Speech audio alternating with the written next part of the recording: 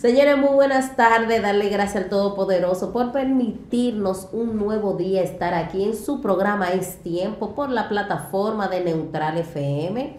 Pueden darle a la campanita a través de YouTube y todas las redes sociales y seguirnos y ver nuestro, nuestra carpeta de contenido y variedades. Darle las gracias a mi compañero Juan de la Cruz por estar hoy aquí. Hola Juan. Hola, hola Angeli Saludos a todos y todas. Nosotros nos sentimos contentos de estar una vez más con cada uno de ustedes. Las bendiciones de nuestro Señor Jesucristo para todos y todas. Hoy es el Día del Psicólogo. Quiero aprovechar a Angeli para felicitar a Leonora Salazar, a Heisy y a Nani Montero, que son mis compañeras de trabajo ya en el centro. Y también a mi psicóloga, mi psicóloga favorita, que es la doctora Malmol. nos ayuda mucho en los asuntos eh, de trabajo. Señores, a todas las psicólogas que trabajan en los centros educativos, a todas las psicólogas de profesión que trabajan a través de eh, clínicas privadas, a darle las gracias por haber escogido una carrera un poquito tediosa que es el conocimiento y el razonamiento del comportamiento del ser humano. Y no es el que esté loco que va al psicólogo, sino el que está cargado de muchos temas. Utilizan la, e, esa, esa profesión para descargar un poquito el cuerpo. Y por eso vemos a muchos que, que caen en depresión y utilizan eh, y se suicidan y utilizan cosas que no deben de utilizar porque hay veces que en la vida uno necesita a alguien que nos escuche y nos oriente y eso no significa que estemos locos. La psicología sirve para también nosotros conocernos, nuestro comportamiento y saber para qué eh, nosotros estamos, eh, realmente por qué hacemos X funciones, porque a veces actuamos y decimos, bueno, que yo soy así bipolar, pero realmente es bueno conocerlo y saber los comportamientos. Así que darle las felicitaciones a nivel universal a todos los psicólogos. Señores, y hoy tenemos un compendio de variedades, comenzando con nuestra primera sección a lo que llega y se acomoda. Angeli, felicidades a Olman, que es nuestro psicólogo especial, una terapia antes de comenzar el programa. Felicitaciones aquí en cabina a Olman, que siempre está eh, para que nosotros estemos cómodos y todo lo que nos estén comentando por aquí y, y en cualquier plataforma nos estén viendo. Señores, Hoy tenemos un invitado muy especial, es un invitado que viene desde el municipio Santo Domingo Norte, es un fue candidato y ganó un proceso electivo muy arduo, muy innovador.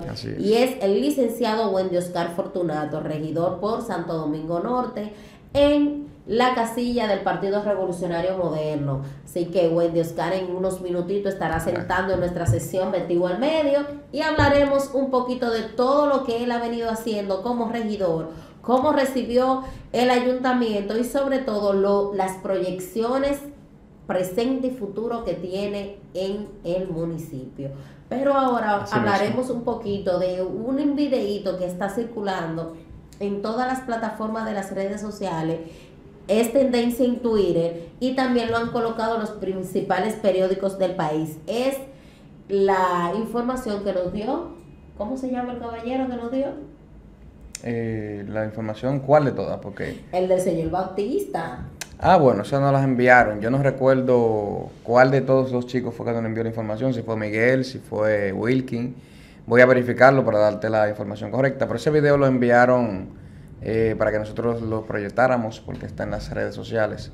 Sí, miren, el video... Está muy bueno, es de lo que siempre hemos hablado eh, acá con respecto a las vacunas. El video eh, específicamente habla del, del senador Bauta Rojas, donde el senador habla sobre el senador explica sobre las famosas, le pide perdón al pueblo dominicano en el videíto. Bueno, vamos a poner un poquito el videíto para que entiendan de qué le estamos hablando.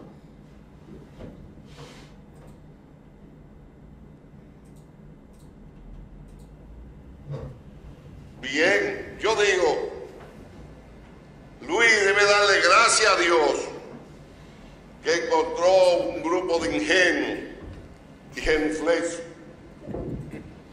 en el Congreso Nacional para hacer las cosas que nosotros hemos hecho. Yo a la verdad Señores, el senador Bautas Rojas le pide perdón al pueblo dominicano en el video, en una sección. Es, él utilizó un turno en el, el, hemiciclo, en una sección que tenían en la cámara, en la cámara alta. Y en ese hemiciclo el senador expuso pidiéndole perdón al pueblo dominicano por el robo que tuvo este gobierno con las compras de las vacunas, y especificó las Pfizer, para cómo se robó automáticamente el pueblo dominicano. Yo me acuerdo que había una jornada amplia de vacunas y como que eso se cayó, pim. Entonces, él expone, me hubiera gustado que el que esté en live aquí pudiera escuchar, pero nosotros lo vamos a subir a la cuenta y él especifica claramente de que él y todos los legisladores son culpables de porque aprobaron esa compra. Y eso fue un robo y una mafia que, el, que tuvo este gobierno con el pueblo dominicano y que en su momento el pueblo dominicano se la va a cobrar. Bueno, eh, nosotros siempre hemos sido críticos de la forma en que se implementaron todas las medidas con respecto al COVID-19 y aún más crítico, y ahí se las doy a los conspiranoicos, del el hecho de que inmediatamente el presidente Abinader anunció que todas las medidas restrictivas con respecto al COVID-19 eh, habían sido anuladas, eh, ya podíamos entrar a los centros comerciales sin mascarillas, podíamos... Eh, no presentar las, las tarjetas de vacunas para asistir a cientos eventos sociales y, vivir nuestra vida realmente normal como a priori se hacía antes del proceso de la pandemia. Entonces luego de eso tampoco ya no conocemos casos de personas que hayan sido medicados con COVID.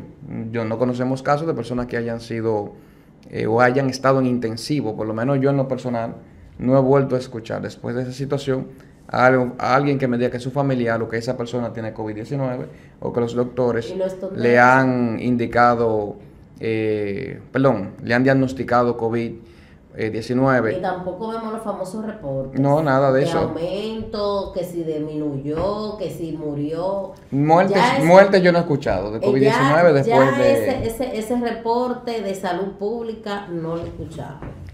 Entonces, es, es, cuestionable, eh, no sé qué opinarán los doctores de nuestro país, en, en, otros países como España, Argentina se hacían marchas en protesta de que era una estafa la situación con respecto al COVID, pero lamentablemente ahora yo les doy la razón a los conspiranoicos, porque no es posible que días después, día siguiente o los dos días después de ser anulada las medidas restrictivas con respecto a la pandemia, la medida de circulación, la medida de uso de mascarillas, de higiene, etcétera, etcétera, eh, fueron anuladas, ya no hay diagnósticos en ningún centro médico y lo digo y lo digo así que no hay porque yo realmente no he escuchado a nadie y lo digo eh, y lo confirmo eh, de mi experiencia en los centros educativos tampoco los niños han dejado de asistir a la escuela por diagnóstico con COVID no sabemos cómo ha sucedido en otros lugares,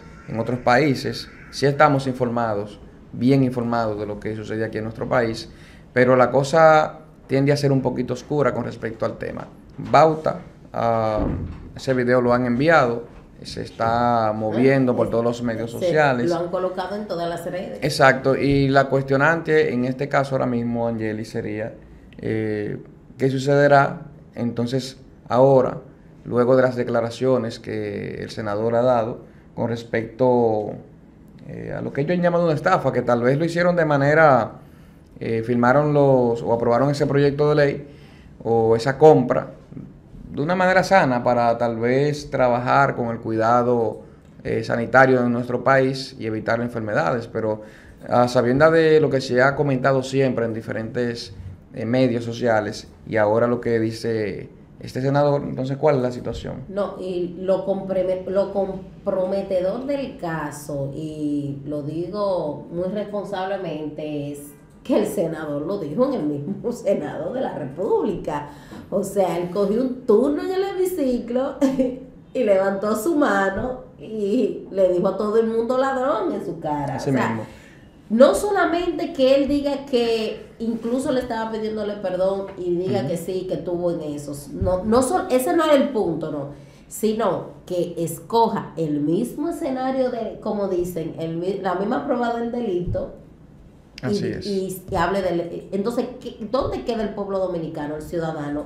¿Qué interpreta el ciudadano? ¿Que se está jugando con la información o hay una manipulación? Mira. Eso, eso trae mucha vertiente porque internacionalmente un senador pararse en un hemiciclo y decir que todos somos unos ladrones es fuerte el caso y la situación. Bueno, el comunicador Carlos Peña,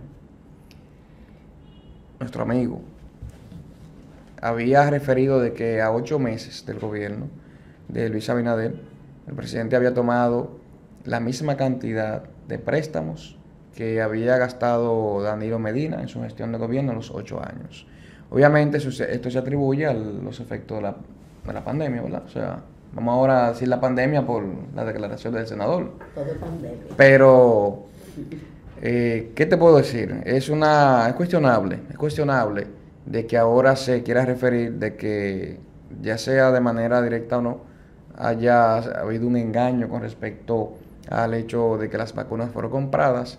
Y yo quisiera saber, quisiera escuchar más adelante, ah, exactamente a qué parte le atribuye el engaño, a la compra o al uso de las vacunas. Sí, porque no aclara. Él simplemente la información, muy buena pregunta, dice que hubo una estafa, pero la estafa estuvo en la aplicación. Un saludito a Francis Pérez que está aquí en el live. En la, en la aplicación de la vacuna, en la compra de la vacuna o en la distribución de la vacuna. Eso es lo que yo quisiera ahora Entonces, saber. ¿En qué hecho, a qué hecho de estafa que- refiere? ajá, él no fue claro, lo puso de manera universal. Y sí me gustaría invitar a, al senador para que nos lo explique en nuestra sesión 21 al medio. Sí, sí. Vamos a hacer los canales. Y yo entiendo, yo entiendo que es un gesto, el que él ha realizado es un gesto eh, sano, es un gesto de valentía, ¿verdad? Reconocer haber cometido un error, si es que fuera un error. Yo entiendo que los demás senadores ahora se van a expresar también Todo con respecto a, ese, a esas palabras eh, que, algo, que ha utilizado el senador Bauta Roja para argumentar la situación. Pero yo entiendo que fue un hecho de valentía lo que él ha, lo que él ha, No, y muy ha hecho, o sea, de su parte. la redundancia. Sea, hay que tener coraje para hacerlo, Sí. hay que tener valor. Señores, vamos a nuestra primera pausa y cuando retornemos seguimos en este tiempo, así que no se muevan.